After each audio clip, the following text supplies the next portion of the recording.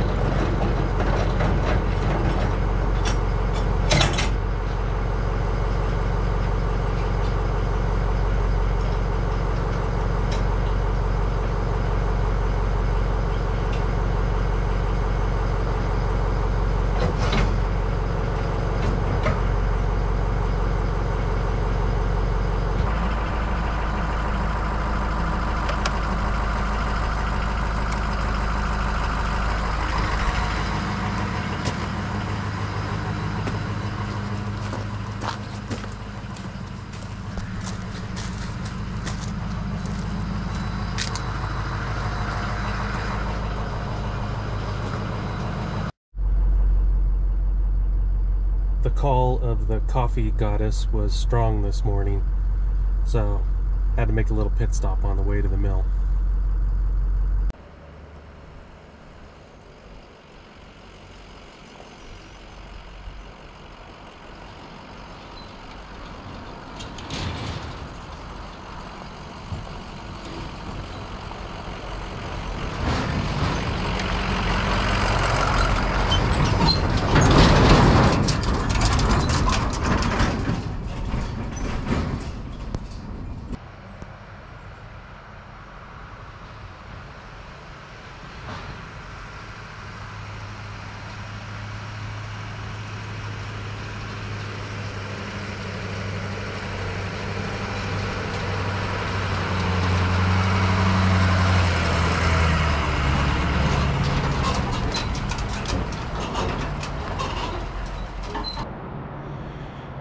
Just realized my safety glasses were becoming unsafe.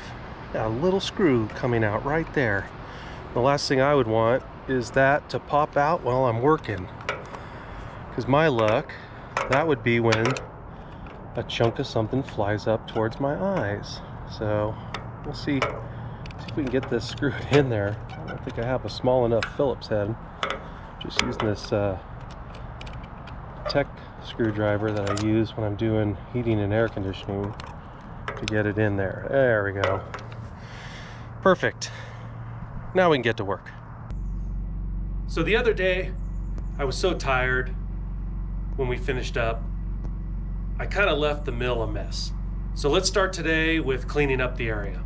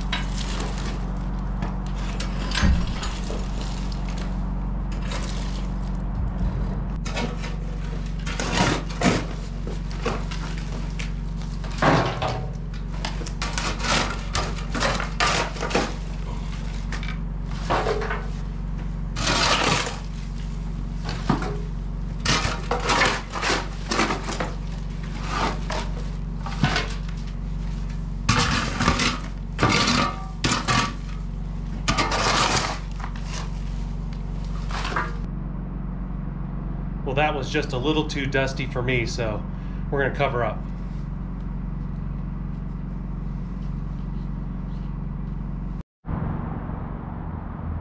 Well, that side looks pretty good. All the bark is gone. So let's move over here and now we'll tackle the big pile of sawdust.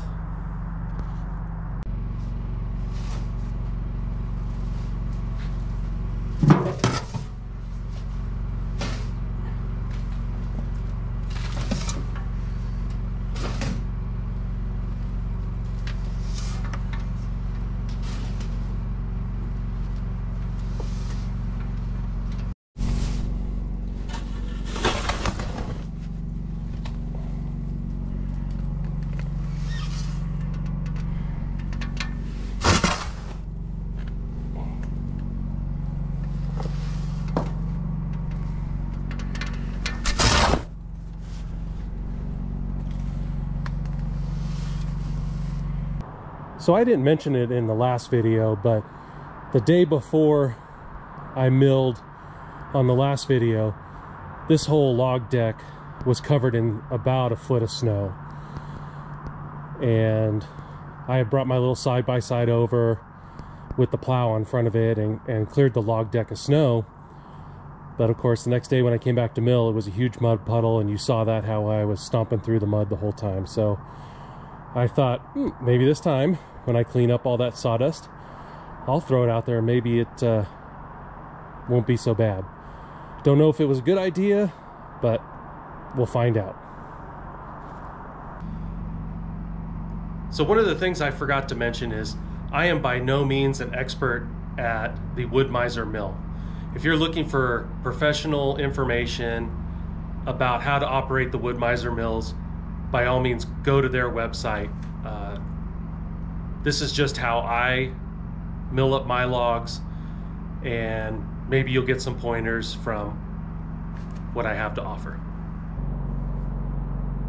All right, so last time uh, I didn't talk about this, but one of the things that I like to do on a log like this that is thick on one end and pretty narrow at the other end because it was towards the upper part of the tree is I'll measure this side, the thickest side, to get a height. So that's 12 inches.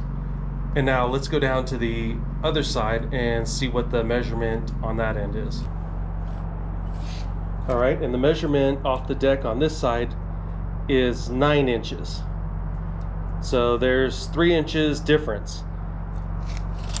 So what I'm gonna do now is I'm gonna bring up the table roller on this end of the log an inch and a half so I can split the difference between the far end and this end and it allows me to kind of keep the boards as straight as possible going through the grain of the log.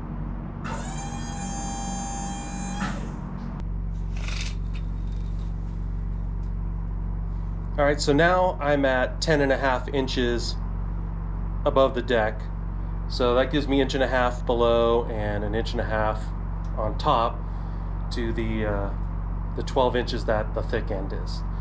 So I'm gonna go ahead and cut my top flat spot and then roll the log over and cut a flat spot on the other side. All right, since I had 10 and a half as my height on the far end and 12 on this end. I made my first cut at 10 and a quarter. And so now uh, I have a nice flat board on top. I'm gonna roll it over and then we'll see what our next cut is. So I got the log rolled over, but I still have that rear deck roller up because I was making up the difference in the cut last time. So before I make my next cut, uh, I want to put that down so the flat spot is on the bottom of the log is sitting right on the deck of the mill.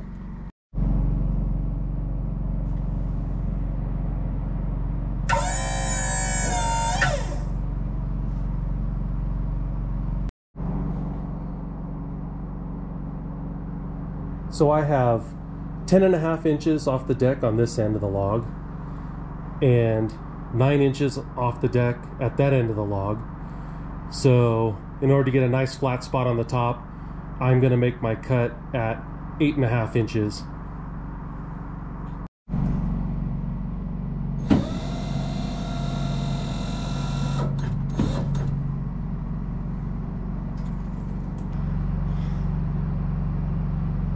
Last time I talked about the simple set feature of the Wood-Mizer mill and I'm going to go over a little bit about that now.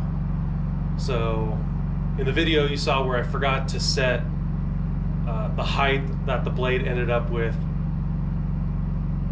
after the last cut. So I'm going to do that again so you can see uh, how I set the blade to find the right height after I've uh, forgotten to do the simple set at the far end. So I'm going to bring the blade of the mill up to the, the log and I'm going to gently bring the blade down until I'm just barely touching the top of the log. And then I kind of get, I kind of scooch it back and forth just a little bit, just to kind of see if I'm right on that edge, if I'm pulling sawdust on both sides. And I'm only pulling sawdust kind of on one side, so I'm, I'm real close. So I'm just gonna give it one more little tap down. All right, so that should be pretty good. So let's back it off. Back it on, put it back on. That looks pretty good. And the reason it draws a little bit more sawdust on the left side compared to the right side is that uh, when the engine's running, it actually torques the mill just a little bit down into the right of the screen. And um, when it does that, the blade is actually level to the deck.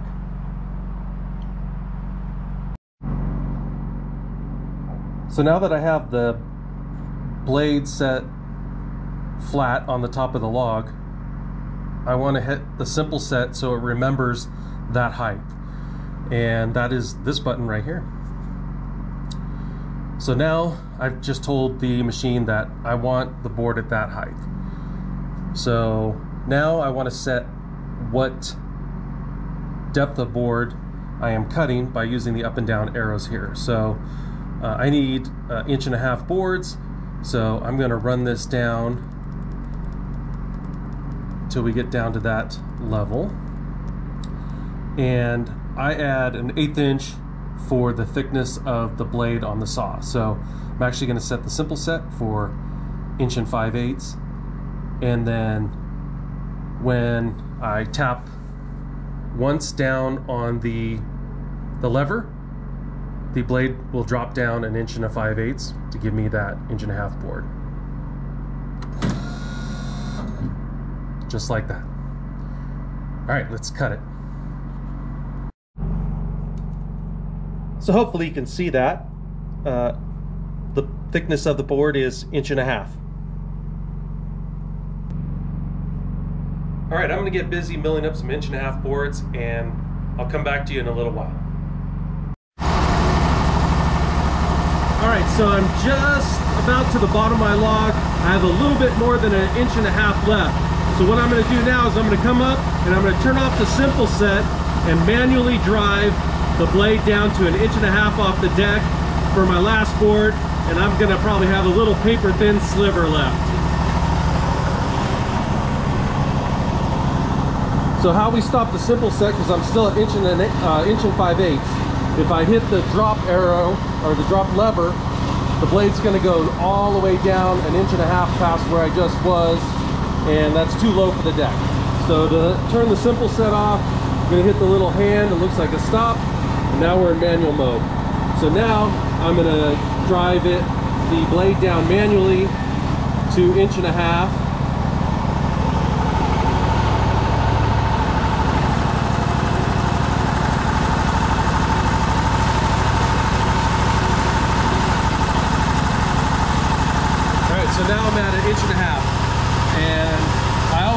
check the, the deck before I do this cut because this is, uh, as you can see where the red is, that's a one inch. That's the smallest amount you could cut off the deck and still not hit anything.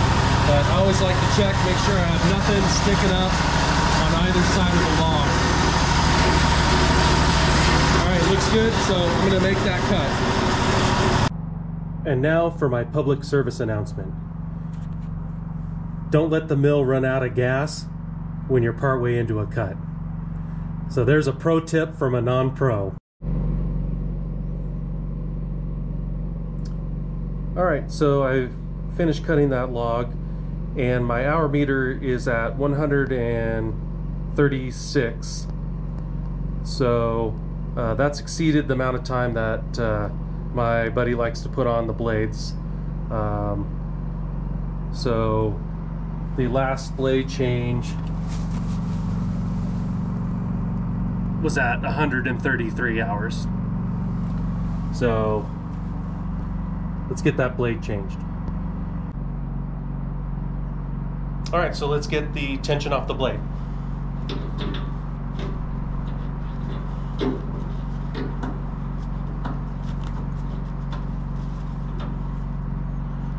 So I unwind it until my gauge is uh, down to zero. And then just to make it a little easier to get the blade off, uh, I just kind of push the hydraulics in a little bit more, get a couple more turns off of it, push the hydraulics in. Uh, that's going to make it a little bit easier to get the blade off. So let's move over to the other side. All right, first we're going to undo the threaded latch. We'll come up here, pull the pin, and then if all goes well, should be able to get this panel out.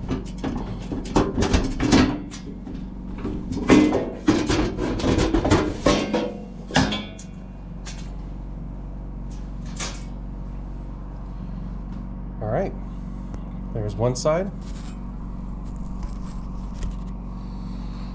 Let's open up the center. We'll actually wait to flop that down until we get uh, the cover off the far side. And it comes off the same way. It's got a rotating threaded latch and the pin. So I'll go and do that and I'll be right back. All right, let's see if we can walk that blade out of there.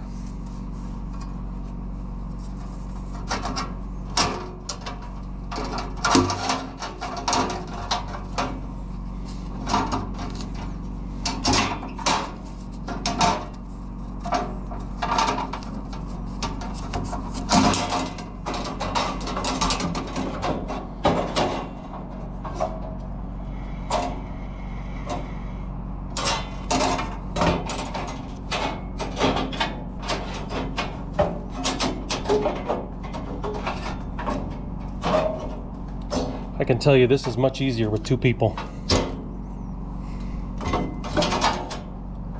And uh, you're definitely going to want to wear gloves when you do this.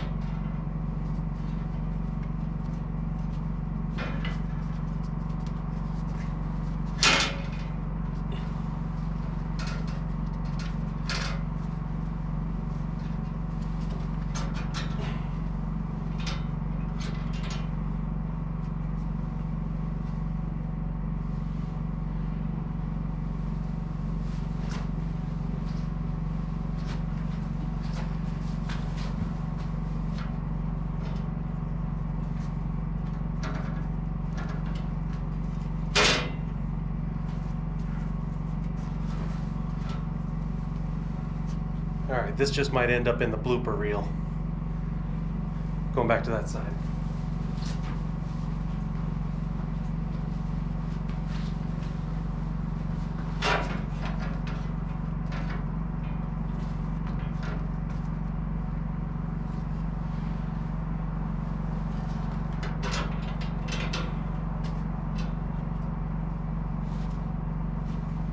All right, it's in there. Nobody sneeze. I'm gonna go tighten it up just a little bit.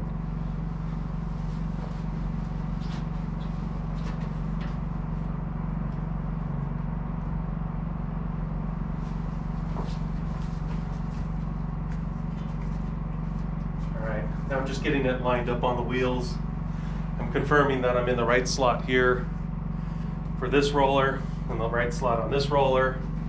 And then I'm getting it lined up here. The way I was taught was to uh, line up the back edge of the blade to the back edge of the roller. And then as long as everything's in there and it's snugged up when it starts up, it'll find its center uh, if it's just slightly off. All right, so another issue I ran into today is uh, I'm not getting any water out of this spray nozzle here. So uh, I'm gonna go ahead and take that off and see if we got something plugged up in there. Be right back. All right, it looks like we did get some fudge in there. You can probably see it sitting on the blade there. As soon as I uh, unscrewed that, the water came out with that. And I've got the nozzle now and uh, I'll blow through it to uh, make sure it's got uh, free passage. All right, that sounds good. Let's put it back together and I'll get back to work.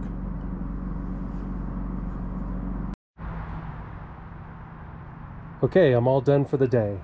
Here's the scorecard.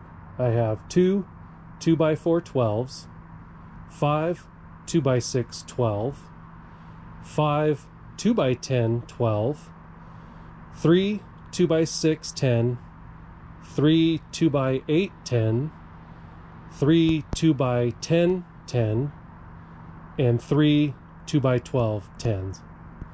And then, of course, I got some stakes and then all the slash that I'm going to burn. And that came out of four logs today. So I got a little bit more done than last time.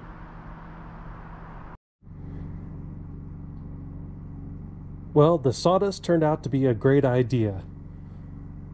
At first, it started floating and made quicksand, but once it soaked up the water, it was much nicer to walk around out here.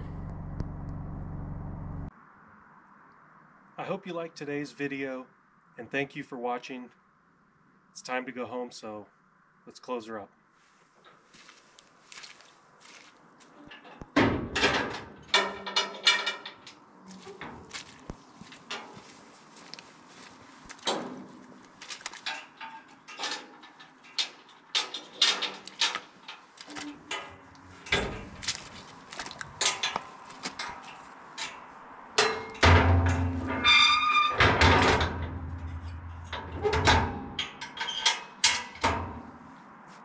See you on the next one.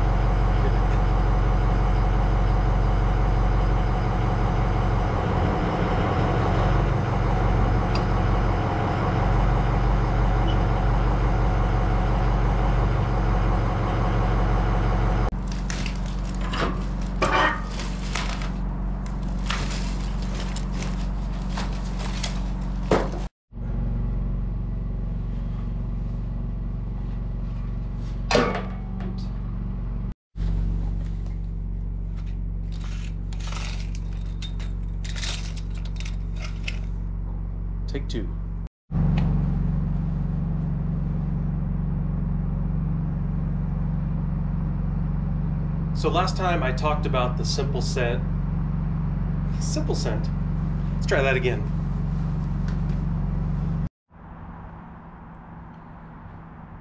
All right, all done for the day.